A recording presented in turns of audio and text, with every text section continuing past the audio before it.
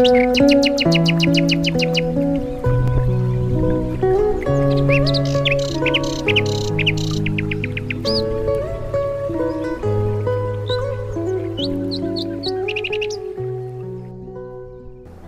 chào các cô, các chú, các anh chị đằng trước mọi người. Đây là con Twitter T10 Mẫu này là mẫu uh, sắp tới sẽ không sản xuất nữa Bởi vì hãng Twitter sắp tới nó sẽ đưa ra các cái phiên bản phanh đĩa là chủ yếu.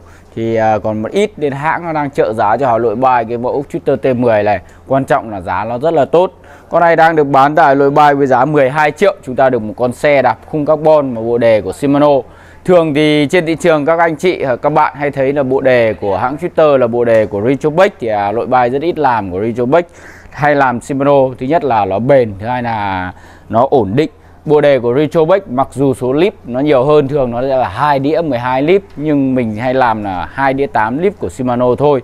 Bởi vì sao? Bởi vì thông thường nhu cầu sử dụng của các cô chú hay anh chị đi tập thể dục hiện nay cũng đi đường trường thôi. Những ai đã từng đạp xe qua rồi thì biết 6 lip còn chưa xài đến, chứ chưa nói đến 8 lip. 8 lip là cái số tầng lip này nó nhiều hơn và nó cao hơn thì cũng không cần thiết lắm đâu. Bởi vì bình thường chúng ta đi cái con này nó quá nhỏ, bánh nó nhỏ nó quá nhẹ rồi. Lên chúng ta đi lên thì tầm giữa này đã thấy nhẹ rồi. Nếu mà chúng ta vẫn thấy nặng thì chúng ta xuống đĩa nhỏ này, chúng ta xuống đĩa là nó đã nhẹ, rất là nhẹ, neo những con dốc cao rồi.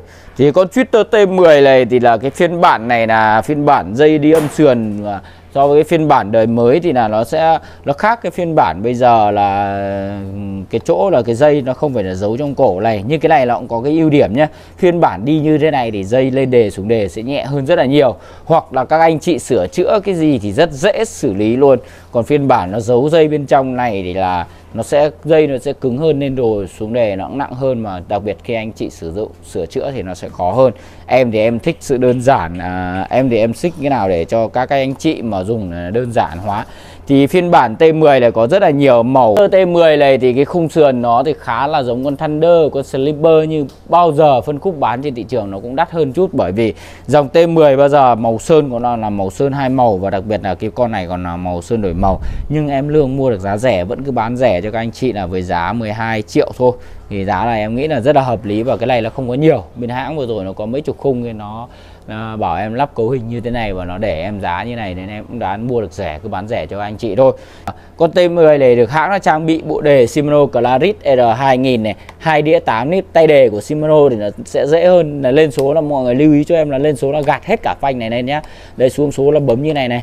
Đấy, đặc biệt là bên trái này, bên trái là lên đĩa này, lên đĩa mọi người cũng phải vả hết vào cho em vả hết cái này sang cái này khi là lên ra nhé bây giờ nó đang ở dưới này để em quay xuống cho mọi người xem. Ví dụ như đây, đây bây giờ nó đang à, này mọi người muốn lên số ấy thì mọi người phải vừa đạp đùi đĩa cái đùi đĩa mọi người phải vừa đạp như em như này này.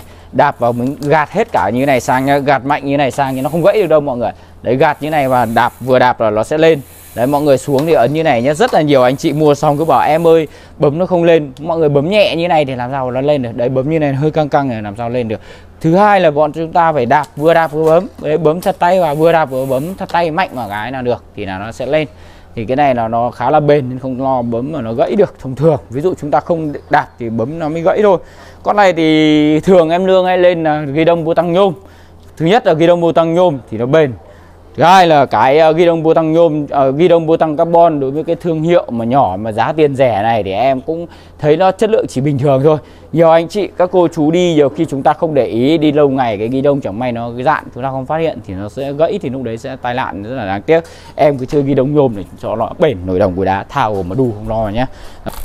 Phiên bản này thì à, hãng đã trang bị đùi đĩa là đùi đĩa well top hai tầng đùi đĩa trục rỗng nhá. Đùi đĩa này thì trước đây hãng nó hay không hay dùng đâu, bây giờ nó mới dùng nhìn khá là đẹp, nhìn cảm giác nó rất là dày dặn, nó rất là đẹp luôn.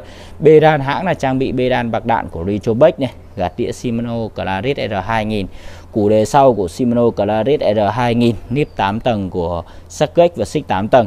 Con này thì hãng đã sử dụng vành bản cao 4 phân và cối nổ siêu to luôn, rất là to luôn nhé. Để em sẽ quay cho mọi người xem này.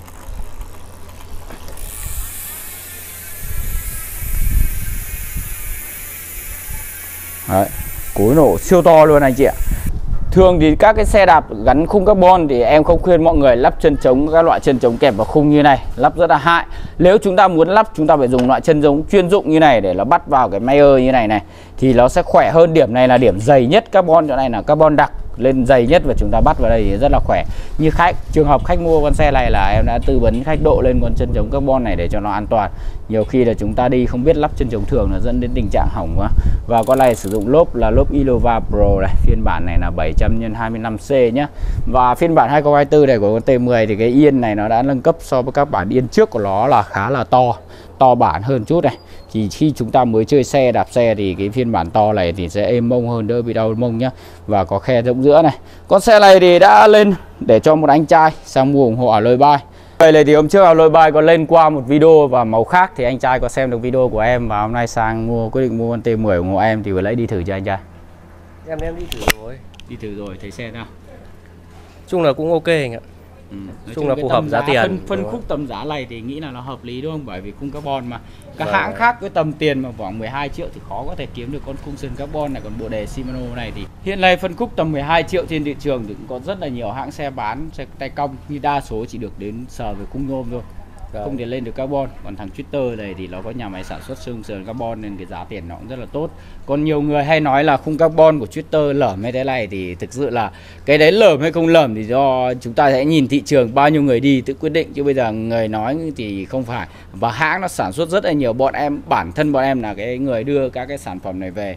Bọn em còn phải đặt hàng chờ sản xuất rất là lâu chứ không bao giờ có sẵn.